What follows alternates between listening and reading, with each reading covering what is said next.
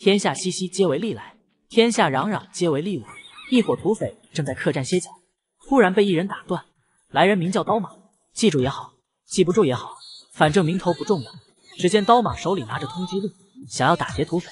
这时背后突然探出一个小马，小孩名叫小七，记住也好，记不住也好，他的名头很重要。二人这一唱一和，把土匪给整懵了。没猜错的话，你们是一人带个孩子，就想敲诈我们整个刘子帮？眼看对方嚣张跋扈，刀马也并未在意，只是淡淡的说了一句：“可惜了。”这时，土匪把客栈的大门关闭，将刀马二人围在中央。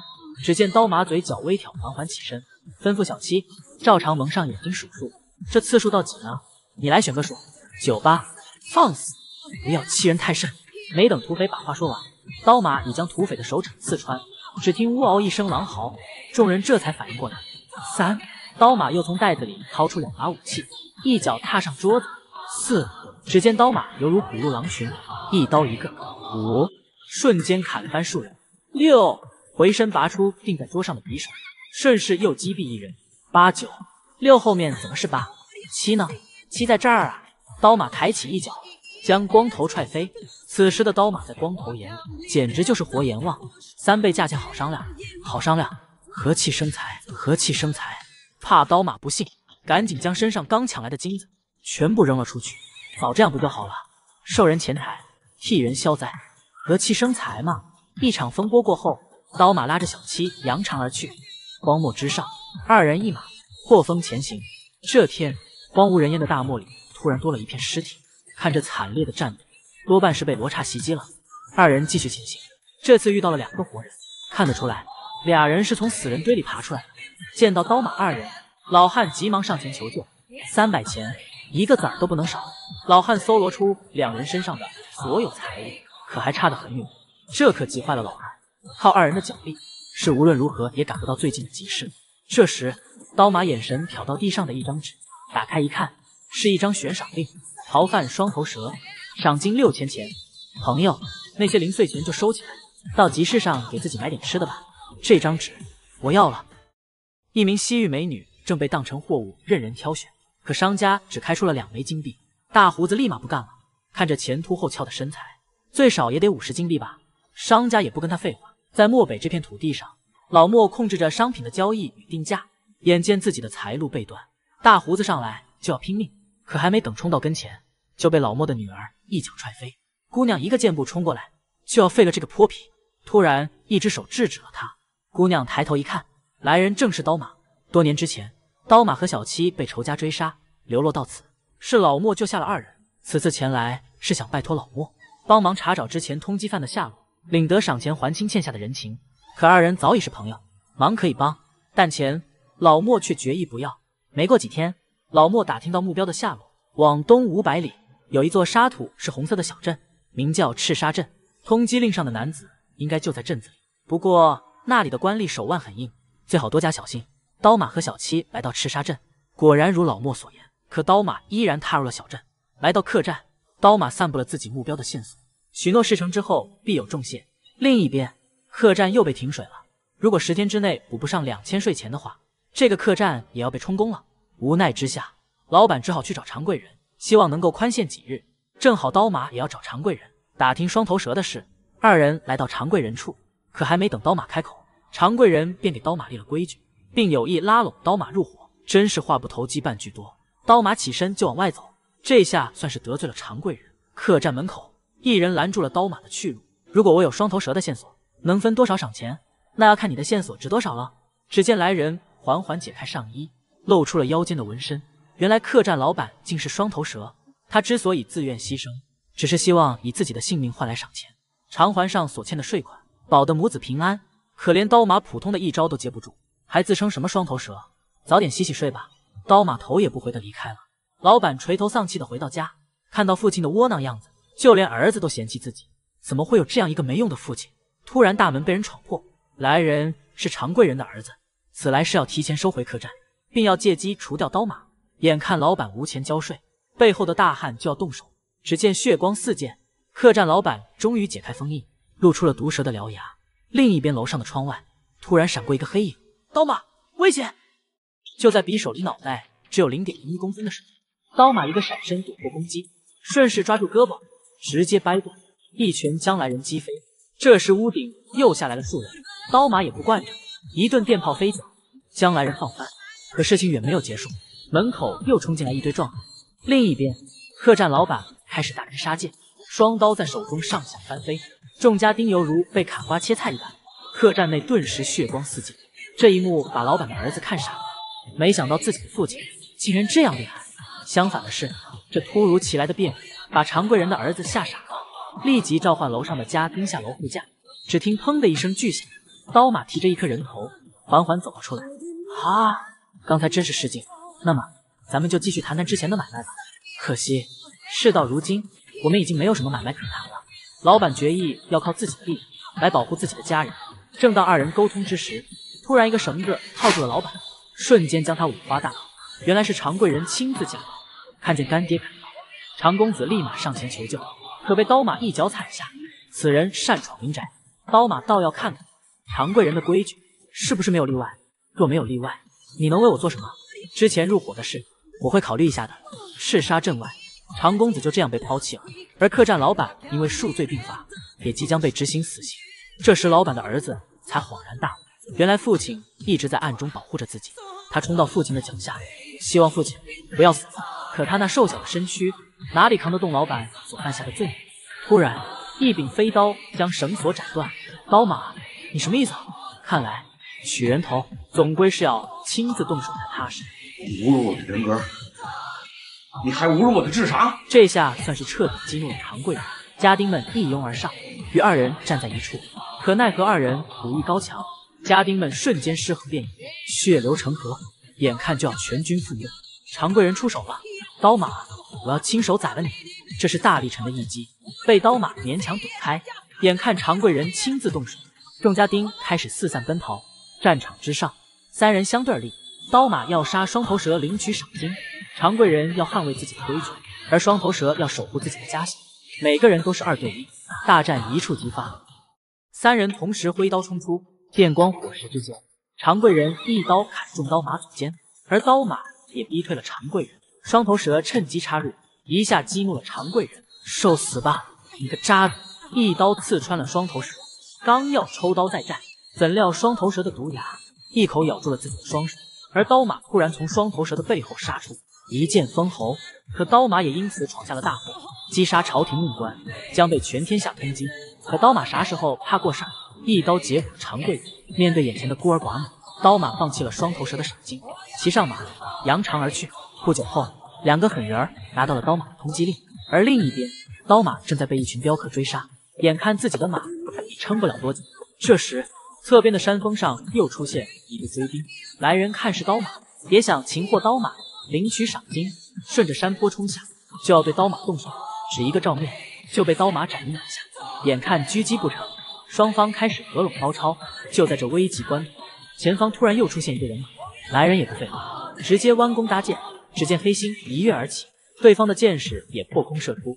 奇怪的是，箭矢全部贴着刀马穿过，反而后面的追兵全部遭殃。原来竟是老莫的女儿阿玉亚来接刀马来了。二人边走边聊，最近家里来了一个怪人，想见刀马。此人名叫知世郎，对刀马和小七的背景了如指掌。刀马顿感此人危险。你到底是谁？可老莫却为之侍郎担保，并称他是来帮助刀马的，并且你们二人的目的一致，都是想回到长安。而这也是老莫交给刀马的最后一个任务，护送知侍郎抵达长安。此后二人互不相欠。第二天，众人收拾行装准备启程，可随行者却多了两个人。老莫的女儿阿玉亚和他的丫鬟。老莫，你竟给我塞一些麻烦人物！老莫笑笑，并未搭话。眼看众人渐行渐远，老莫莫名的说了一句：“刀马。”我家族的未来就托付给你了。此时的众人还不知道，前路便是刀山火海，九死一生。这是我见过最奇怪的人。他常年戴着面具生活，手无缚鸡之力，却想要颠覆朝廷。而护送他到长安的，则是一名通缉犯。这名通缉犯还带着一个孩子。就是这样一支队伍，却在大漠之中遇到了另一队更诡异的车队。窗帘飘动，里面露出一张女子精致的脸庞。马车呼啸而过，里面端坐一名镖客。再押送一男一女，女子极尽妩媚，挑逗镖客放过自己。可镖客双目紧闭，不为所动。突然，四周的崖壁上出现一个人，竟是一群拜鬼者。镖客意识到危险，突然睁大双眼，而外面的拜鬼者也开始发动攻击。只听轰隆一声巨响，马车应声飞起。不远处的刀马一行人也发觉了异样，立即策马前去查看。此时的拜鬼者正在念着咒语，突然一刀刺下，将车老板的心脏剜出，见到鲜血，拜鬼者更加兴奋，爬上车顶寻找其他生还者。突然，一人被拽入车内，再出来时，喉咙已被刺穿。这时，车里的女人爬出，拜鬼者看见女子更加兴奋，刚要下手，车顶上出现一人，竟是之前的镖客。只见镖客飞身冲入人群，所过之处顿时血流成河。可拜鬼者仿佛不知恐惧，依然前仆后继的往上冲。只见镖客手中的宝刀上下翻飞，拜鬼者们一时竟无法近身，可双拳难敌四手，镖客渐渐有些不支。这时，刀马策马飞出，突入人群来跟镖客做笔买卖。你有车，我有马，不如二一天作五。就这样，一场大战过后，两队人马兵合一处，一同向长安进发。男子单名一个数字，而妩媚的女子名叫燕子娘。另一边，一队人马疾驰而行，而他们的目的正是莫氏家族的领地。杀了父亲的凶手，竟还想娶自己为妻。你见过这么嚣张的人？这天刀马来到一处废弃的驿站塔前。突然，一只手从房内伸出，一队人已在此等候多时。这时，一个抱着木匣的人缓步走出，他将木匣放在地上，用手缓缓打开，从里面掉出来的赫然是老莫的头颅。这突如其来的变故，使阿玉亚脑中顿时一片空白。他抱起父亲的头颅，瞬间泣不成声。而凶手竟然要在此时迎娶阿玉亚，剩下的人全部杀光。不知不觉间，已激怒了旁边一人。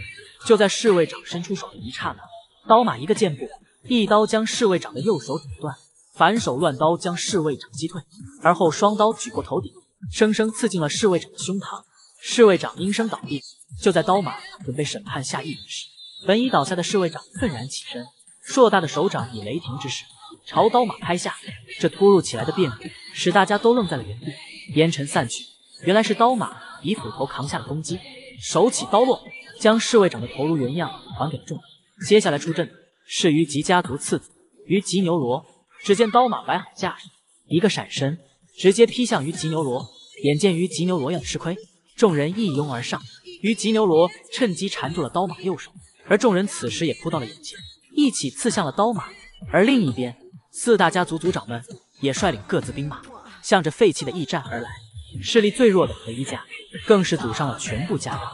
请来雇佣兵团，吐火罗相助。远处风起云涌，一场沙暴即将来临。族长们各怀鬼胎，向驿站疾驰。人之所以拼命，是因为所得之物比命更有价值；而刀马拼命，是因为自己的救命恩人被眼前的敌人杀害了。杀人就要偿命。只见他荡开众人，再次起身，决定大开杀戒。在他面前，众人犹如被砍瓜切菜一般，毫无还手之力。突然，一名壮汉破空袭来。刀马挥斧劈下，怎料壮汉竟硬接下攻击，一只手直接抓住刀马面门。后面的队友跳起，就要给刀马致命一击。突然，一道寒光闪过，来人被数一刀拦腰斩断，顺势扭转身形，站在了刀马肩膀。呜噜噜，快松手！可还是晚了一步，两根手指连带绳子被树瞬间斩断。这时，从后方走出一人，你就是知侍郎？这真是可笑，连知侍郎是谁都不知道。还敢来抓人？奉上知侍郎的首级，才能得到朝贡的资格。而朝贡一匹胡马，下次的是价值十倍的丝绸。朝廷要的是面子，藩国赚的是真金白银。而条件不过是在地盘内杀一个叫知侍郎的亡命徒，稳赚不赔的大买卖。一群没脑子的蠢货！朝廷要的知侍郎是什么人？你们谁都不知道。为什么？因为只有老莫明白，知侍郎不过是一个幌子，是裴侍郎用来打通西域的幌子。哼哼，中原人。把我们当棋子，我们又何尝不是在利用他们呢？棋子，你弑父篡位，就是为了给别人当棋子。五大家族齐心合力，才顶得上一个国家。你们现在连弃子都算不上。中立地带不在中立之时，大国的角力就要开始。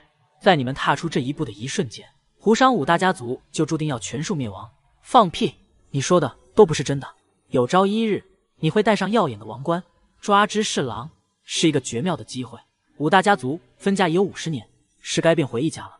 此乃天时，中立地带清理门户，他国不可干涉。此乃地利，少壮当家，不会瞻前顾后，有的是冲劲儿。此乃人和。如今万事俱备，只欠东风，便由在下成就你的东风吧。你们来一统五大家族，朝廷将全力支持你。知侍郎就犹如亲眼所见，将裴侍郎对和一玄的许诺一字不差的讲了出来。你究竟是何方神圣？知侍郎通晓过去，预知未来。知侍郎是点燃生活、驱赶黑暗的先知，是菩提树下顿悟的佛陀，是以百姓为刍狗的圣人。我正是知侍郎，而知侍郎却不是我。知侍郎是娼妓，是农夫，是乞丐。知侍郎谁都不是，或者说人人都可以是知侍郎。这番话瞬间击溃了何一玄，他疯狂的射向知侍郎，大战再次一触即发。谁说站在光里的才算英雄？那些默默坚持自己信念的人，同样也是隐藏的英雄。人生在世，自己选择的路，即使跪着也要走完。刀马和树与四大胡商开始了正面对决。此时反应过味而来的于吉牛罗，一边嘲笑着和一玄，一边准备撤出这场争斗。可出乎意料的是，本应处于弱势一方的刀马，竟然要全灭四大家族。来为老莫报仇，众人此时才意识到危险，可以为时已晚。血债必须血偿。这时，一支箭破空而来，强大的速度竟将于吉牛罗直接击飞。这一击惊呆了在场的众人。没错，血债血偿。阿玉亚将悲痛转化为力量，重新站了起来。而另一边，一个人却陷入了迷茫。裴侍郎利用五大胡商的贪念，策划了这次的灭门行动。他要为大隋平定西域做好准备。得知叔父的计划。裴行眼惊出一身冷汗，没想到叔父的城府竟如此之深。他决定亲眼去见证这场变革。自己儿时所受的教育是忠孝仁义之道，如今叔父教给他的却是尔虞我诈之术。何为对，何为错？裴行眼现在的内心很迷茫，只有战场上的杀戮才是真实发生的。此时荒废驿站这边，奄奄一息的于吉牛罗爬到何一玄脚边，请求何一玄救救自己。可此时的何一玄早已丧心病狂。只见他掏出匕首，一刀刺进于吉牛罗的脑袋。面对这个变态的家伙，阿玉亚可一点不惯毛病，直接来发一箭三连。就在双方剑拔弩张之时，突然在沙丘的另一边传来了一阵马蹄声。原来是四大家族的援兵赶到了，在自己面前杀害了自己的儿虞姬老族长自此断子绝孙，全军放箭，把下面的人全部杀光。刀马这次真的慌了，眼见骑兵箭雨袭来，知侍郎还在这装逼。刀马一把薅住知侍郎的头发，将燕子娘和小七护在身后。面对敌人的铁骑，刀马一路披荆斩棘。他现在要做的就是保护大家安全的杀出去。可此时的阿玉亚却杀红了眼，是要将何一玄碎尸万段。情况危急，仆从阿妮舍命抱住阿玉亚就往外跑。树从右翼进行掩护，大家边战边退，来到马车跟前。这时佩乌家族的援兵也赶到战场，瞬间与于吉家族站在一处。趁着这突然的变故，燕子娘顺带擒获了佩乌家的长女佩乌蜜。眼见自己的心肝被掳走，佩乌大军立即追赶马车。福无双至，祸不单行。刚刚杀出重围，却不料前面竟汇聚了一场沙暴。前有沙暴，后有追兵，只能赌一把。往前或许还有一线生机，返回只有死路一条。马车朝着沙暴冲了过去。此时，后面的追兵不时有人被卷上天。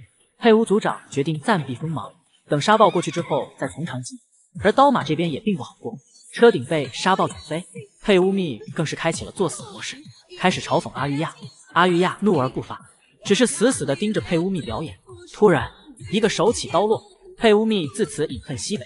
可阿玉亚并未坐回马车，他缓缓起身，顺势爬上车顶，就算今晚墨家灭亡，也要让这帮畜生血债血偿。阿玉亚跳下马车，抢了一匹马后，转身折返回去。丫头，回了头便无路可走了。刀马一把拉住阿玉亚，阿玉亚并未大慌，回身一吻，一切尽在不言中。阿玉亚挣脱刀马，就这样消失在沙暴之中。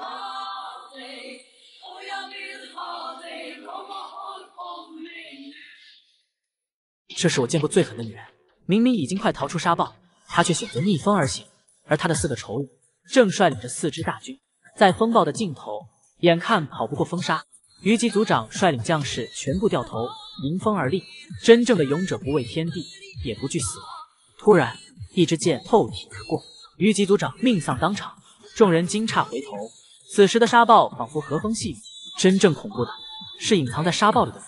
阿玉亚仿佛化身恶魔，冲出沙暴，他要代替阿胡拉审判这些罪大恶极之人。面对阿玉亚强大的气势，众士兵以为是妖女现身，操纵沙暴前来索命，立即调转马头，四散奔逃。你不要过来啊！阿玉亚犹如虎入狼群，只身杀得大军丢盔卸甲，落荒而逃。赖族长，抓到你了！只见阿玉亚居高临下，横刀立马，快保护我！一支箭破空而出，赖族长应声倒地。接下来便是佩乌家，还有何一玄。看见何一玄，阿玉亚提马冲下悬崖，可何一玄也不是吃素的，一剑正中马头，阿玉亚就此跌落马下。他缓缓站起，想要再次冲向何一玄，可此时的他连自己都没发觉，这瘦弱的身躯上早已遍体鳞伤。眼看大军慢慢逼近，阿玉亚的意识也渐渐模糊了。突然，从山上冲出一人，原来是贴身侍卫阿尼赶了回来。他一把抱起阿玉亚，冲出重围。谁叫你们对阿玉亚动手的？那可是我的女人！没等佩乌族长反应过来，众人已被剑雨击杀。竟是和伊玄雇佣的吐火罗雇佣兵赶到，只一个照面，佩乌族长已被吐火罗头领击杀。而另一边，眼看追兵越来越近，阿妮将阿玉亚放到马上，而自己则留下来阻挡追兵。小姐，长安有你崭新的人生，不要担心长安的女子会笑话你，因为你比这世上的任何人都美丽。望着阿妮的背影，阿玉亚彻底晕了过去。镖人里最奇怪的人，莫过于知侍郎。此人弱不禁风，却想要颠覆朝廷。他不仅能够看透人心，还能预知未来。今天我们就来讲一讲知侍郎的身世。一场沙暴过后，众人缓缓从沙堆里爬出，就此分道扬镳吧。跟你们扯上关系，多少条命都到不了长安。刀马听后并未搭话，一把拽过知侍郎。如今这一切，你也是早就知道了。你跟老莫究竟是什么关系？这还要从七年前。西周民乱说起，三郡四县的民众在同一时刻袭击兵器库，诛杀权贵，开仓放粮。此事惊动了朝廷，朝廷派出五万步骑围剿，带头的便是负责执行朝廷密事的萧骑卫，彻底抹杀行动的记录和痕迹。没有记录，便会慢慢被世人遗忘，被遗忘就等于不曾存在过。包括西周的十五万男女老少，也包括花颜团。天之道，损有余而补不足；人之道，损不足而奉有余。在这乱世之中，百姓疾苦，民不聊生。花颜团带领西周民众，要向天下传达一个口信：替天行道，花满天下。这是花颜团的名字第一次被世人知晓。可权贵们却没兴趣倾听百姓的呐喊，并称这群暴徒是盛世的敌人。对于敌人，就要斩草除根。于是，你们决定屠城。一夜之间，西周境内尸横遍野，血流成河，整整十五万条人命。那是知侍郎第一次遇见刀马。那时的你脸上充满疲倦和疑惑，知侍郎把一切看在眼里，却一动也不能动。最终，你们也没能找到主谋。为了掩盖事实，于是编造了贼寇结成、官军讨伐的故事。这个替死鬼就是李灵英，而真正的花颜团魁首并没有死，他在一棵树下坐了下来。过了七天七夜，他的白罗衫变成了红罗衫。他起身擦拭了脸，却发现脸上的血污已凝下。就在那一刹那。他突然知晓了世间一切事，于是他决定到天竺验证自己的想法。哼哼，狗屁不通，口口声声说为百姓讨公道，可到头来被你煽动的百姓全死光了。你倒是苟且偷生的活了下来，这算什么公道？你嘴上说的天下苍生，其实不过是你坐上皇位的借口而已。只可惜了老莫，居然为了保你这种货色而丢了性命，我替他感到不值。若杀了知侍郎，能让你解恨。那就动手吧。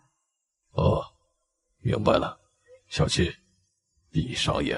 哎，刀马，你还是不明白，知侍郎要颠覆朝廷，并非是为了一己私欲。莫族长明白这一点，因为知侍郎活不久了。原来。知侍郎早已恶疾缠身，命不久矣。多亏了老莫的秘方，才得以放缓发病的速度。而老莫早已料到自己的结局，做这些只为保住阿玉亚，为墨家也为大漠湖商留下一线香火。也只有知侍郎顺利到达长安，点燃了世间的圣火，才能换得大漠免遭战乱。得知事情的全部真相，刀马决定返回大漠寻找阿玉亚，无论是生是死，我都得把他带回来。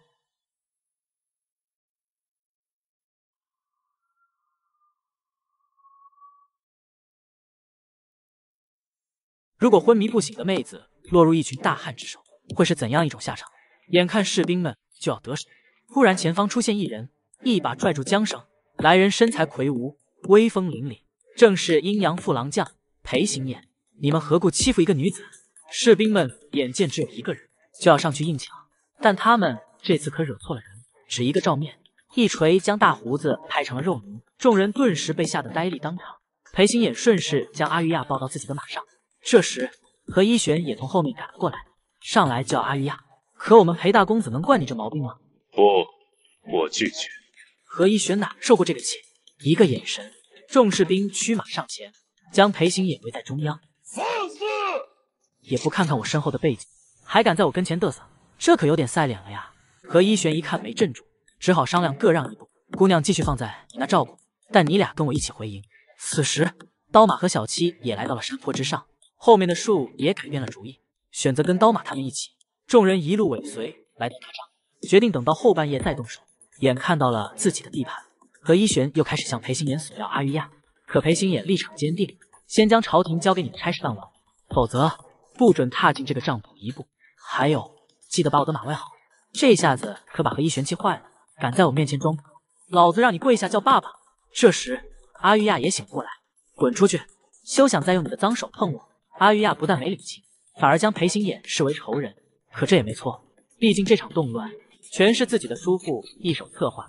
可是你身上的箭头若不及时取出来，可能会危及性命。阿玉亚也不再争执，拿过刀子，扯开了自己的上衣。悲愤的阿玉亚撕开自己的上衣，雪白的肌肤顿时被裴行衍一览无余。他下意识的背过身，给眼前这位刚毅的女子留下最后的尊严。在没有麻醉的情况下，阿玉亚用刀剜开伤口，将箭头拔出，撕心裂肺的疼痛让他大叫出声。裴行衍体贴的递上手绢，示意他咬住。可阿玉亚一口咬住裴行衍的手指，开始一只接一只的拔剑。这彪悍的举动一下子惊呆了裴行衍。拔完箭头。阿玉亚已虚弱不堪，可他依然没有忘记自己的使命。我要杀了何一玄，还有你。另一边，眼看大帐周围的士兵全被调走，刀马和树也准备动手了。二人顺着山壁滑下，而此时的何一玄正在召安其他家族的士兵，如有不从者，立地就会被残忍杀害。眼见何一玄凶狠残暴，众人只好俯首称臣。这一刻，何一玄又觉着自己行了。听见外面的异动，裴星也知道这小子是要叛变了。姑娘，我是朝中之人，今夜在此地发生的事，不能插手，此乃上意。不过我们中原有句老话，杀父之仇，不共戴天。如今你要被仇人欺凌，我便不能坐视不管。即便违背上意，即便成为万人之敌，我也要坚守心中的道义。说罢，便只身来到帐外。裴公子，你的马可真是匹好马，是我们大漠的种，但大漠的马可再也不能让你们中原人骑了。而你。也回不去了。正如所愿，士兵瞬间将裴行衍围在中央。何一玄一声令下，众人立即发难。可出乎意料的是，裴行衍舞动双锤，近身的士兵竟被轰成了肉泥。众人见状无不惊骇，竟有如此神勇之人。但战斗还在继续。就在众人缠斗裴行衍之际，刀马和树也来到了大帐背后，寻找时机。那么裴行衍能否化险为夷？刀马能否救出阿玉亚呢？请看下回分解。正义真的值得用性命去守护吗？裴星野为了保护一面之缘的阿玉亚，力战何一玄大军，眼看久攻不下，何一玄开始改用弓箭。裴将军身中数箭，仍未后退半步，气急败坏的何一玄命令吐火罗人将裴星野拿下。可吐火罗人却纹丝未动。眼见裴星野越战越勇，众士兵开始望而却步。这时，一只雄鹰落在吐火罗头领的手臂上，接着吐火罗头领不知说了些什么，雇佣兵们开始行动起来，朝着裴星野就冲了过去。如果没骨气的活下去，那与死了又有何分别？裴星野决定放手一搏，可吐火罗人却擦肩而过，并未攻击，反而将裴星野围在当中。你们是被马踢坏了脑子吗？收了我那么多钱，还敢跟雇主作对？何一玄歇斯底里的咆哮着。何一族长，你好像搞错了，你给的那点钱。远远不足以让我们开杀戒。从一开始就是中原的裴氏举出了大价钱，要我们帮你。现在我们接到了雇主的最后一个指令，保护这位中原客人，撤离此地。请你让道吧，何一族长。何一玄哪受得了这个气？给我杀！将这些无耻之徒全部杀个片甲不留！虽然十余倍对方的兵力，可众人却不敢上前一步。见状，何一玄许以高官厚禄，鼓舞士气。俗话说，重赏之下必有勇夫。众将士一拥而上，万箭齐发。可吐火罗人防守的固若金汤。何一施主，既然如此，便莫怪我们不慈悲了。列阵，准备开战。铁骑的神勇大大超出了何一玄的想象。一个冲锋，自己的虾兵蟹将顿时被冲散。这时，自己的马群也不知被谁赶。呼啸着朝战场飞奔而来，原来是刀马和树干的好事。这突如其来的变故，瞬间打破了战场的平衡。绝望的何一雪一心奔着帐篷里的阿玉亚而去，他想要带阿玉亚离开，可阿玉亚却只想要他的命。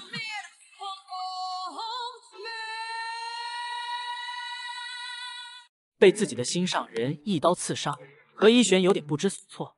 阿玉亚，你为什么不明白？这么多年来，我所做的这一切。都是为了你。此时，他突然想起了当年巫师对自己的预言：有朝一日，你会戴上耀眼的王冠，而你的心上人会给你的王冠插上五根羽毛。回过神来，何一玄以双手掐住阿玉亚的脖子，痛苦的阿玉亚拼命挣扎。突然摸到了旁边的弓箭，不由分说，直接来了发一箭三连。这突如其来的变使何一玄变得癫狂，踉跄着跑出了帐篷。可等在外面的却是追赶来的刀马。不许动他！审判他的不能是别人，必须是墨家的人，必须是我，我一定要亲手了结他。说罢，阿玉亚奋力起身，一剑刺向何一玄的头颅。等你戴上王冠之时，而你的心上人会给你的王冠插上五根羽毛。而另一边，裴世举这边也开始行动了，刀藏在鞘里，不能轻易拔出，可一旦出鞘，就要直指咽喉。驻兵中立一带，魏大隋开启了打通西域的第一步。处理完和一玄和一些后事，阿玉亚突然有了一种责任感，他决定要留下来，留下来重建父亲用生命守护的基业。可孤身一个女子，这又谈何容易？况且随军即将赶到，可阿玉亚心意已决。这时，吐火罗首领驱马上前，并向阿玉亚抛出了橄榄枝：“不如加入我们佣兵团吧！征伐与杀戮，因果与轮回，我们只做一件事，守护大漠的均衡。现在。”我们选中了你，你愿意加入我们，改变大漠的轮回吗？我想要变得更强。黄沙翻滚，放牛郎带着孩子走在回家的路上，突然旌旗招展，隋朝大军已近在咫尺，而阿玉亚也决定随土火炉而去。总有一天，我们会再度相聚。丫头，老马，你已经不再是丫头了。二人就此分道扬镳，刀马一行继续启程，前往长安。荒漠之上，一名壮汉被隋军围住，正是逃走的乌噜噜。终于找到你了，尊敬的可汗！赤沙镇外，一名黑衣人寻迹而至。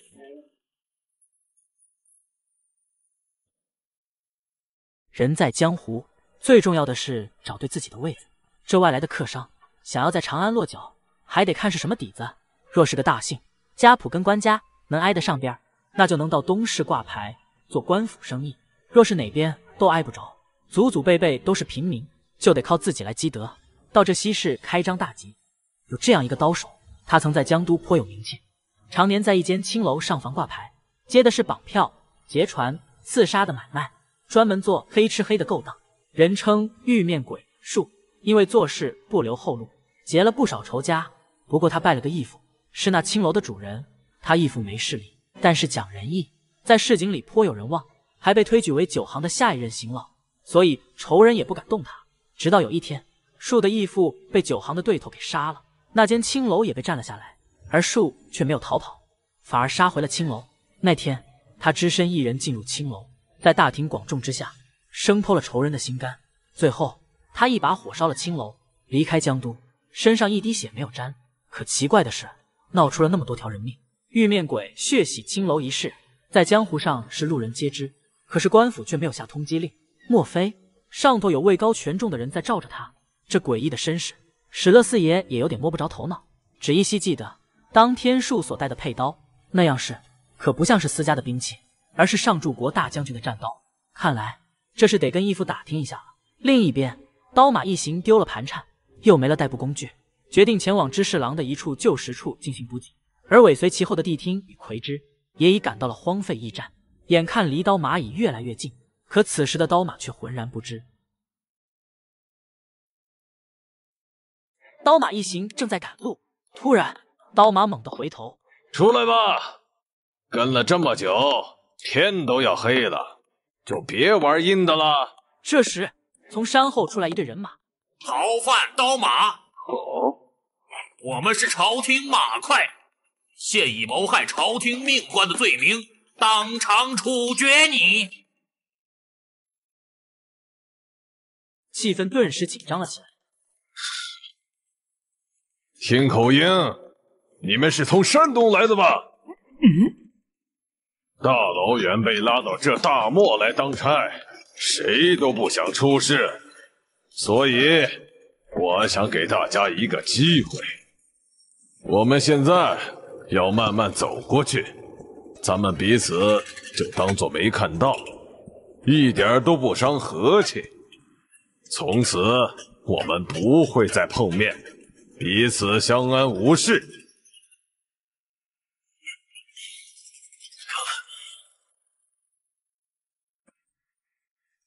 但要是有人冲动，呵呵，拔出来的刀就收不回了。说罢，刀马催马就往前走。面对刀马强大的压迫感，众马快的头上冷汗直流。停停停停下！岂岂有此理！俺们大隋马快奉朝廷之命，当关外贼寇，平天下治安，岂容你这逃犯如此放肆？哦，你的意思是，朝廷之命比自己的命更要紧了？少废话！俺们李氏为韩魏大隋，奉献一切。嗯。早已决心在异乡埋下尸骨。哎，让道吧，朋友。今天谁都没必要在这儿埋尸骨。居高临下的是俺们，你早已无处可逃。俺们只是不想伤及妇孺。最后给你们一个机会，无关人等，速速退散。哈哈，那敢情好。劳驾你们先给妇孺病残让个道。我送他们一程再回来。大大大大胆狂徒，这由不得你来讨价还价！你立即下马，束手就擒！正在剑拔弩张之际，一个胆小的马快紧张的脚下一滑，顺着山坡滚了下去，手中的弩箭也撒手崩飞，不偏不倚，刚好击中树的马颈。这下见红，树一个飞扑就要做掉这个倒霉的马快。忽然。打山坡上冲出一人，举双锏接下树的致命一击。来人正是马踏黄河两岸，简打三州六府，交友赛孟尝，孝母四专诸，威震山东半边天的神拳小太保秦琼。秦叔宝眼见树九攻不下，刀马前来助战，黑心踩他。只见黑心双蹄直击秦琼面门，岂料竟被秦琼硬接了下来。这臂力真是惊人，有小孩子在。我没法使出全力，这耿直的小伙使刀马也来了兴趣，而秦琼也摆好了架势，准备与刀马一决高下。下次有机会再说吧。回头看眼后面，只见树已将班头擒获，无奈之下，秦琼只好束手就擒。可刀马却并未拿走马快的财物，并让燕子娘将双锏还给秦琼。看见秦琼哀怨的眼神，燕子娘也动了恻隐之心。看你长得还蛮可爱的，姐姐就当是给你面子了。说完，还在秦琼的脸上亲了一口，给秦琼羞的是满脸通红。而后众人起身继续赶路。另一边，谛听与葵之也正在马不停蹄的追赶着刀马。在大漠之中遇到一个山洞，你敢进去吗？刀马一行来到山洞门口，毫不犹豫的走进了山洞。可刚走没多远，岩壁上突然莫名出现了诡异的壁画。这些壁画从古老的过去开始，一代延续一代，诉说着众生之相。突然。墙上的壁画好像动了，燕子娘看见了漂亮的飞天仙女，而树看到的则是鬼面如纱。每个人眼里看到的东西都变成了自己心中的贪嗔痴，而刀马看到，则是金戈铁马，周围更是变成了小时候逃难的场景。身后不知何时拉着一个小女孩，面对后面周国的警笛，刀马和小女孩在逃难的人群中被难民们冲散。他爬起身，向后张望，不远处的小女孩正在向他挥手求救。奋不顾身的刀马抓起一块石头，逆着人群狂奔而去。小琪，怎么了？刀马？原来这些都是看到壁画后的异象。刀马定了定心神，领着大家继续向前走。不知又过了多久，刀马恍惚听见了打铁的声音。铁锤落下，里面赫然出现一个手上缠满锁链之人。只见此人长头垢面，正在奋力挥舞着大锤打铁。此人正是尉迟家族的后裔尉迟恭。是谁？我们是来找一些老朋友的。他们是前朝北周的移民，尉迟家族。你来晚了，他们都已经死了。原来尉迟家族久居山洞之内，一个个都病了。现在只剩下尉迟恭最后一人。他们在临终之前嘱咐着。以后会有一个人找过来，可他等了很多年，始终没有人到访过。而这个早已被世人遗忘之地，又怎么会有人找上来？说罢，提刀向知识郎冲了。刀马抬脚将知识郎踹飞，将将躲开这致命一击，回身抽刀，与尉迟恭站在一处。可惜尉迟恭只会铸刀，不会用刀，几个回合便被刀马击败。你们真的是活人吗？原来尉迟恭以为自己出现幻觉。眼前之人都是自己幻想出来的。得知真相的尉迟恭，双手奉上自己修复的宝刀丙子蛟离，而这柄被诅咒过的宝刀，目前就存放在日本的博物馆内。关注下一集，将为大家讲述丙子蛟林的来历，以及它成为诅咒之刃的由来。武夫手中的战刃是斩伐杀生的凶器，但对天子百官而言，腰间的佩刀是身份和权力的象征。权力一代传承一代。便形成了门阀，在漫长的岁月中，收在鞘里的刀却开始渐渐腐朽，直到再也拔不出来。旧的门阀衰弱之时，新的利刃诞生了。在漠北边境的武川镇，诞生了一股新贵门阀势力，这便是西魏八柱国十二大将军。八柱国以鲜卑拓跋部的八部制度为蓝本，由其中六位柱国各督左右两大将军，统领二十四兵符，赐予宝刀为信。在八柱国之中。未取得宝刀的是挂名虚职的西魏宗室巩灵王元心，以及西魏的实际掌权者八柱国之首宇文泰。可自幼跟随宇文泰的尉迟迥却不能接受，身为柱国之首，为何没给自己准备一把宝刀？对于外甥的疑惑，宇文泰轻轻的笑了一下，因为那些刀配不上我。究竟何种宝刀才能配得上宇文大人的超人地位？尉迟迥暗下决心，要为宇文家族打造一口独一无二的宝刀。尉迟迥召集氏族中手艺最好的刀匠，在关外大漠的古老洞穴里着手锻造这口宝刀。选取西域出产的稀有冰铁，经过百炼折叠锻打，覆土淬火，在最巧妙的时机从炉火中抽出，回火以后精心打磨，如有丝毫瑕疵，便悬挂起来引以为戒。继续锻造下一口，就这样夜以继日，春夏秋冬。重复了一次又一次，万里挑一的宝刀终于诞生了。他将宝刀呈送给宇文泰，请用这口绝世宝刀斩断羸弱的卫氏命脉，登基为帝，君临天下。好刀啊！想必他正散发着耀眼的锋芒吧。可惜我的眼睛已经什么都看不见了，我已经时日无多了。但我的孩子们现在都太小，也拿不动这口刀，把它交给我的侄儿宇文护吧。面对行将就木的宇文泰，尉迟迥悲痛不已。至少给这口刀起个名字吧。今年是什么年？回大人，是丙子年。造这口刀的匠人叫什么名字？是尉迟氏族世代打铁的一脉。尉迟蛟离。宇文泰不禁想起了之前驰骋蜀地时的场景。这口刀就铭刻丙子蛟林吧。公元五五六年，八柱国开创者宇文泰在北巡途中病逝。次年，其继承者宇文护逼迫魏恭帝元阔禅位，建立北周。宇文家族手中。紧握着不祥之气，魏恭帝元阔禅位后被杀，时年二十岁；宇文泰长子周孝敏帝宇文觉被害，时年十五岁；宇文泰庶长子周明帝宇文毓被害，时年二十六岁。北周建立短短三年内，丙子交林便染上了三位年幼皇帝的鲜血。宇文护统领左右十二兵，只手遮天，权倾朝野。可故事到此并未结束，丙子交林的杀戮也并未停止。由于篇幅有限，我们下集再讲。夺权篡位与匡正直言，哪个才算是忠臣？北周建立短短三年内，宇文护便接连斩杀三位年幼的皇帝。尉迟迥决定不再忍让，他来到宇文护座前，索要丙子交礼。为了避免宇文宗室再造屠戮，他请求以命换刀。尉迟将军何出此言？只因我是宇文泰大人的忠臣。哼。那你为何会怀疑宇文泰大人的判断？尉迟迥被问得呆立当场。寡人的堂弟们尚且年幼，不懂庙堂险恶，他们轻信小人，不听逆耳忠言。为了针对寡人，不惜被赵氏和独孤氏操控。寡人要是不杀他们，这国家就完了，宇文家族也完了。你我死后，还有何面目去见宇文泰大人？你和我究竟谁才是忠臣？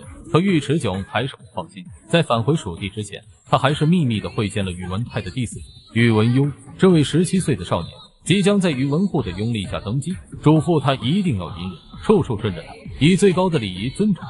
让他以为你绝不敢跟他作对，而后再利用八柱国之间的不满，拉拢他们，慢慢积攒自己的实力，等待时机成熟。这日，宇文邕借太后酗酒为由，提议由宇文护代天下劝解太后。看着卑躬屈膝的宇文邕，宇文护手捏球髯，答应了下来。来到太后帐前诵念九告，宇文护刚念到一半，突然感到背后传来一股杀气，回头一看，竟是宇文邕要对自己图谋不轨，抬手准备拿剑，可却为时已晚。宇文护愤怒至极，就要废了这个逆子。可万万没想到的是，从垂帘之后出来的竟是尉迟迥，身后的八柱国已将太后殿团团围住，每人一刀将宇文护乱刀砍死，而最后这一刀还得由宇文邕亲自动手。尉迟迥。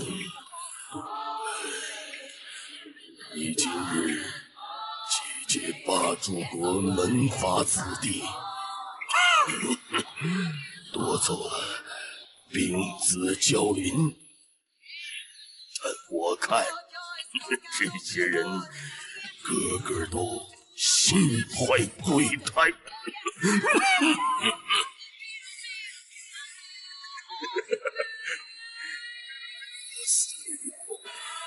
又有谁？得住他？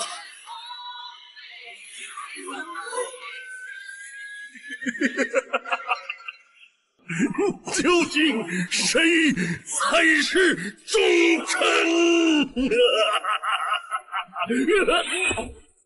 宇文邕手起刀落，将宇文护人头斩落。自此，二十九岁的宇文邕独揽大权，改年号为建德，是为周武帝。而后以丙子交林号令八柱国门阀。引领北周步入鼎盛时期，可好景不长，在攻灭北齐的第二年，周武帝全身溃烂而死。世人都说那是他杀业太重，遭到了丙子交林的诅咒。继位的周宣帝生性懦弱，为了避开宇文宗室的诅咒，他开始远离朝政，沉迷酒色。于是权臣再一次开始掌权，只不过这次的权臣变成了外戚。所以当他拿到丙子交林后，所做的第一件事便是屠杀宇文宗室。此人便是上柱国大将军、左大丞相。杨坚，可天下还有一个人是他无法征服，正是镇守邺城的尉迟迥大将军。他以六十四岁的高龄，亲自披甲上阵，与杨坚大军殊死决战，可最终还是难逃国破家亡的结局。而当年号令八柱国的丙子交林，也像这个国家一样破碎成了数段，英雄末路。尉迟迥以丙子交林立下诅咒，就这样结束了自己的一生。次年，杨坚逼迫年仅八岁的北周静帝宇文产身亡，定国号为隋。后世称他为隋文帝。随后，杨坚将宇文宗室的血脉屠戮殆尽，就连八岁的宇文产也没能幸免。尉迟迥的直系家族也全数被杀，旁系成员则被贬为奴隶，流放关外。而这些被流放的尉迟族人，各自偷藏了丙子交林的碎片，来到当初打造宝刀的洞穴，修复这口象征宇文宗室的宝刀。而尉迟恭正是洞穴内仅存的唯一一人，请用这口刀号令八柱国后裔，斩灭杨隋王朝。荒漠之中，两名马快一前一后，正在赶路。路旁突然出现一匹马的尸体，挥之谨慎地上前查看。从马匹的腐烂程度和身上的器物来看，看来距离刀马已经越来越近了。这时，突然听见身后传来一阵求救声，正是之前被刀马制服的秦琼众人。被困一夜，总算得救。众人庆幸自己遇到了好人。桂枝拿出刀马的通缉令，询问刀马等人去向。班头是知无不言，言无不尽。而后，桂枝扭头看向地平。前辈，我已经问完了，你还有什么问题吗？一个问题。嗯嗯。你们为什么还活着？说罢，动身朝众人走来。感觉到气氛不对，秦琼下意识的警觉起来，可以为时已晚。谛听直接冲了过来，一个照面直接击飞三人，众人被吓得呆立当场。秦琼反应迅速，挡下了谛听这致命的一击，可力量悬殊，秦琼被崩飞数米开外。这时，众人才想起来逃跑，可哪里还逃得掉？众人这才意识到二人的危险，却已是在劫难逃。谛听缓步向前，众人已被吓得浑身发抖，动弹不得。此时的谛听在众人面前，仿佛化身成了厉鬼，只有一人不为所动，正是缓缓爬起的秦琼。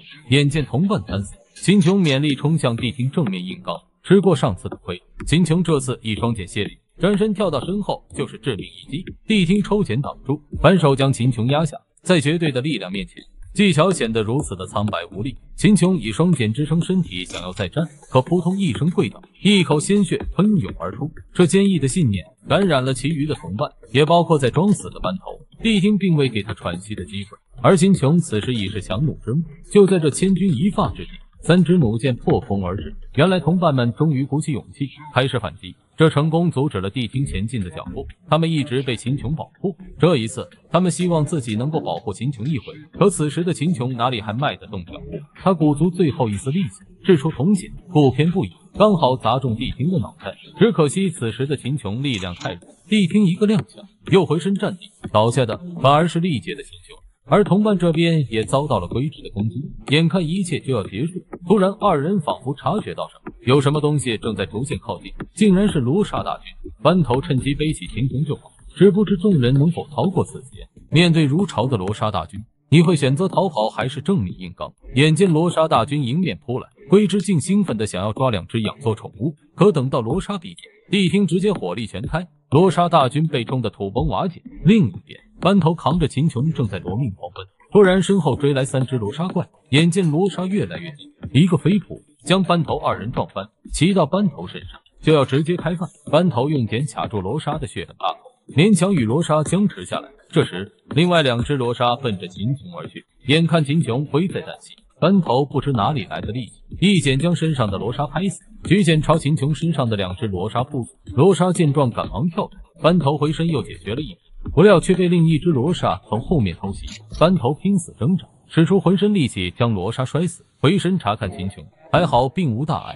班头背起秦琼，赶紧逃跑。叔宝，这笔钱是你的份，这次我放走囚犯的事，你就当做没看见，以后也莫再提了。可秦琼却认为黑钱不该拿，都是铜钱，还分啥黑的白的？听说你老娘身体不大好，你用它买点山参，孝敬孝敬老人家。也算是俺的心意，可秦琼不但不收，还要坚决报官。眼见软的不行，班头就要来硬的，可硬的又打不过。情急之下，班头一把抱住秦琼：“俺上有老，下有小，俺要是出了事，他们全都得饿死。俺们全家人的命就在你手里啊！俺一直把你当做兄弟，手把手教你当差，你不会都忘了吗？我出山的时候，我爹教导我，做人一定要刚直分明，光明磊落。可是叔宝，你若是激发了……”他们会把俺发配到边疆跑差，俺这一去，可就不知道还能不能活着回来。班头，我陪你一起去。你有病！举报自己的上司贪污受贿，并陪着他一起发配到塞外大漠，他的班头反而救了他一命，全都怪你捅出那个篓子。别睡觉，给俺好好听着。你要是没把俺揭发出来，俺现在应该在老家衙门里过着舒坦日子，心情好了就出去转一圈，抓抓小偷，捞捞油水，天天吃香的喝辣的。何必到这千里之外的破地方遭这罪？呢？叔宝，听到了吗？不许睡觉。到这以后，俺给你穿小鞋，往死里使唤你，那都是你应得的。不过，俺倒是不恨你，因为你做的是对的。其实，俺年少的时候也跟你一样，一心只想秉公执法、惩奸除恶，为老百姓出头。俺也曾想要当个好捕快，可是也不知道为啥，不知不觉间就成了现在这副模样。或许当初俺的班头分给俺的六百钱，是俺不该拿的。可俺也没办法，当时要娶媳妇，俺也想把婚事办得风风光光，哈哈，很好笑吧？所以，俺其实很羡慕你，你的样子就是俺理想中的自己。可惜，俺永远都没办法成为你这种。话说回来，刚才真是好惊险啊！活了四十多年，从没见过那么大的场面。那些罗刹鬼扑上来的时候，你不知道我心里有多害怕。像俺这种人就是这样，出身一般，目不识丁，没家底也没啥本事，万一走了妹，碰了茬子。那能跪就跪，跪不过就逃，逃不过就装死，反正好死不如赖活着。可是刚才眼看你要被两个恶鬼叼走，俺也不知道是从哪冒出了勇气，推着俺就冲了上去。嘿嘿，你也看到了吧？俺一口气干掉了整整三只罗刹。等俺们平安回到家，俺就可以吹上一辈子。所以你不能睡着啊！你可得替俺作证，你得替俺作证才行，因为这是俺人生头一次当一回硬骨头。哈哈，没等说完，班头一跟头栽了下去。哎，有点累，好像跑得太急了，腰都开始有点酸了。嘿嘿，俺们就在这稍微歇一小会儿吧，只是一小会儿，可不许睡着了。秦琼赶紧用双手按住班头的伤口。如果如果上天能给俺重来一次的机会，让俺回到第一次收黑钱的那时候，俺可能俺可能还是会毫不犹豫的收下。嘿嘿，俺只是个凡夫俗子，逞英雄装好汉，一辈子顶多也只能来这么一次，再多就没有。不过你跟俺们不一样，秦琼，你要去成就俺们做梦都想不到的一番大事。慢慢的，黄沙掠过，二人倒在了荒漠之中。普天之下，莫非王土；率土之滨，莫非王臣。你可知道这句诗的下半句是什么吗？裴行俨并未回答叔父的问题，反而向裴世举辞行。裴世举也并未阻拦，而是问起了那天晚上你看到了什么。裴行俨沉思了片刻。回答道：“我看到了一群利欲熏心的豺狼之辈，不知廉耻的杀人妇、夺人女，犯下天怒人怨的恶行，最终却被人玩弄于股掌之间。可更令裴行俨无法释怀的是，他本以为自己是正义之士，本应以仁义道德来教化那些蛮夷之地，想不到原来自己跟他们并没有什么区别。可裴世举接下来的回答，更是颠覆了裴行俨的认知：仁义道德。”本来就是圣人君子之位，因为人的本性是贪婪而丑陋的，所以我们才会用伪善的礼教定下规矩，遏制人的真性情。庸人会被大义束缚，匹夫会为名分而行事，而真正的圣人君子是要胸怀天下，仁义道德、大义名分都不是目的，而是手段。为了国家，我可以不择手段，此所谓大人不仁。可裴星衍依然不为所动，他相信自己所坚守的正义，依然坚持离开。那巧了。刚好主上召唤我上京，我现在要动身去长安了，不如你就陪我一起走吧。不了，大人，我要走我自己的道路。多谢大人多年来的恩德，保重。大夫不君，我从事独贤，这就是普天之下莫非王土，率土之滨莫非王臣的下半句。上头的人不公道，唯独我有贤能为天下奔波。这句话便送给我们彼此吧。自此，二人分道扬镳，裴行俨踏上了自己选择的道路。这里顺带提一下。《隋唐演义》里的裴元庆就是以裴行俨为原型而塑造的，而此时离开的裴行俨心里所想，竟是给他手指上留下深刻击骨伤口的阿玉呀。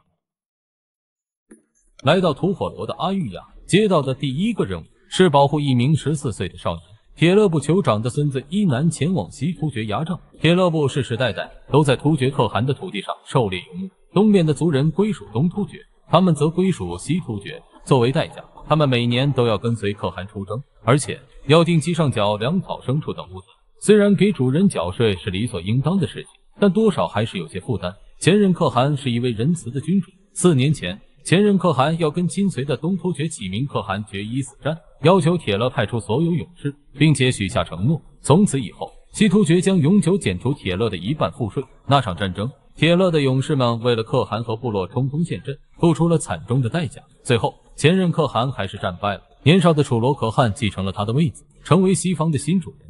可是楚罗可汗却不承认前任可汗曾经许下的承诺，不仅没有减免赋税，反而每年都在加重。现在的赋税已经变成了以前的整整三倍。阿育亚听到后，立刻火冒三丈。去年有一个小部落的酋长，因为没有凑够上缴的羊头数目，他就去找可汗抱怨赋税太重，结果他们整个部落的人都被绑在木桩上，活活晒死。赋税的问题依然没有解决。这次可汗同意召开会议，听取各部落的意见，调整赋税。所以这次的会议意义重大。拜见一举楚罗可汗。伊南想借这次机会，加上临近的岩陀部和其他部落，只要占据半数以上的席位，大家一起表明立场，相信英明的可汗一定会理解大家的难处，减轻赋税。可是弃毕部却好像隐藏着什么阴谋，不太想配合。正说着。三人已来到西突厥的领地，糟了，可汗提早到了。眼看牙帐栅栏即将关闭，伊南催马冲下山坡，突然在前方出现一人。只见来人弯弓搭箭，明显来者不善。突然，一支羽箭从伊南身后飞出，精准命中来人的大腿。正是阿育亚在后面保护伊南。来人吃痛，弓箭偏了三寸，射在了马头之上。这时，阿玉亚已冲到近前，一个飞扑将男人踩在脚下，说：“你是谁？”住手！在可汗的地盘闹出人命，是对可汗的不敬，我们会受到惩罚的。阿玉亚微微一笑，一箭射向蒙面人，面罩应声掉落，竟是弃毕部酋长的儿子弃毕格。就在众人缠斗之时，远方响起了号角声，看来还是晚了一步。会议已经开始了，穹庐之内，你绝处罗可汗正襟危坐，都到齐了吗？可汗，铁勒部所有部落的代表已经全部到齐，那就说吧，你们对税收有什么意见？弃币部酋长率先发言。第一，可汗向铁勒各部征收的是数目依然不变。各族酋长听后一片哗然。紧接着，第二个提议，铁勒各部上缴的税数目从此减为一半。怎么可能？第三个提议，不够的另一半由我来出。从今往后，各部统一向弃币部缴税，在由弃币部补齐差额之后，上缴给可汗。不知各位意下如何？众人听后开始有些动摇。但也不乏明眼之人。弃币部，你是想借此机会积累你们部落的声望和实力吧？众人赶紧上来打圆场，你一言我一语，争论不休。这下可激怒了倪绝处罗可汗，可汗直接起身上马，在众人面前扬长而去。这时，外面的人突然察觉到不对劲，帐外逐渐聚集了大批的骑兵，将牙帐团团围住。这时刚好可汗从帐内走出，从士兵手里接过一张印章。回身弯弓搭箭，只听“砰”的一声，羽箭破空而出，朝着牙帐飞去。里面的人还在七嘴八舌的争吵，殊不知已大祸临头。众人被眼前的一幕吓傻了。这时箭雨紧随而来，酋长们顿时死伤惨重。此时才想起来逃跑，可却为时已晚。谢毕哥这才认清现实，原来可汗要的并不是那一点点部分。而是要消灭整个弃币部，是什么让你举楚罗可汗自己忠诚的部下痛下杀手？我们后面再讲。喜欢的铁汁记得关注，我们下期再见。睡梦之中，他梦见一位美女正在给一个婴儿哺乳，脖子上赫然插着一支深可见骨的箭矢。猛地睁眼，一个大美人正趴在自己身上，温润的手掌正在抚摸着自己的胸膛。你这是在干什么？被发现了自己的小九九。燕子娘悻悻地转身离开了。另一边，圆月当空，裴景眼正在想戏。突然，山崖之上出现一个身影，来者何人？哼，连名号都不敢报。见来人毫无反应，裴行俨拿起兵器准备应敌。突然，来人竟一头栽了下来。来近一看，正是之前侥幸逃走的金犬。另一边，不知走了多久，刀马一行终于走到了山洞另一边的出口，前面就是玉门关。过了玉门关，便是大隋王朝的地界。而此时，尉迟恭也准备与刀马等人自尽，去往北方寻找自己的一片天地。告别了尉迟恭，众人边走边聊。原来说要杀的仇人，竟是自己的父亲以及他的七个儿子。而他的生父，赫然是上柱国大将军楚景武功杨素。可怜的树，竟是杨素的私生子，没名没分，连赐姓的资格都没有。但可惜的是，杨素在去年已经死了。此时，长安城内人尽皆知。同一时刻，长安大兴城内，宇文智吉坐在一处木屋门口。他来找一位老爷子，打听一口上柱国之道。大隋开皇之年，高祖文帝销毁了丙子交礼，并将西魏八柱国之刀重新赐予大隋上柱国大将军。后来，该诛杀的被诛杀，该除名的被除名，他们手上的刀都被皇室一一收回。到了今年，高颖和贺若弼被诛杀以后。上柱国刀现在只剩最后一把，便是你们杨家的了。一年前，我帮你骗过了老虎，也骗过了全天下。现在，我想请你帮我一个小忙。拿着那口刀的人知道了我的一个小秘密，我需要知道他和你的关系，因为我正要去找他。那却是先帝赐给老夫的宝刀，多年以前被那小子给盗走了。如果见到那个孽畜，你就让他消失吧。得到想要的答案，宇文志吉满意的离开。此时，刀马一行也来到了玉门关前。从没见过这么嚣张的通缉犯。刀马一行来到玉门关前，你们是哪里来的？打西院来的，要入关进长安。进长安要干什么？这个嘛，要去颠覆朝廷。士兵听后先是一愣，颠覆朝廷？没错，颠覆朝廷。哈哈，了不起！放心，居然这么容易就过了关。原来第一道关卡差的是护照和货物。麻烦的是第二道关卡，第二道关卡盘查的才是人，怕是没那么容易过关了。果然，还没等靠近，便被士兵们拦了下来。小马掏出之前抢来的马，冒充便衣马宽，把士兵蒙得一愣一愣的。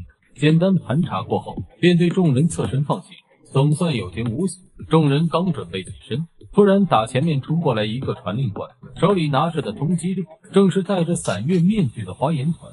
士兵回头望向众人。刚好与众人四目相对，捉拿逃犯，这可真是点背不能怨社会。刀马左到右府，准备硬干。一个照面，前排的士兵顿时人仰马翻，树叶飞身加入战场。众士兵一时间被二人压制当场，别恋战，一步步慢慢退，来到知侍郎身边。刀马回手薅住知侍郎的脖领子，一把将他扔上马背，城下的东西，同时也惊动了守城大将面具哥。只见面具哥一个大跳，枪尖呼啸，直接奔知侍郎而来。这泰山压顶的一击，直接将马铁拦腰斩断，借力一个回身，将刀马踹飞，顺势翻转枪头，再次向知侍郎袭来。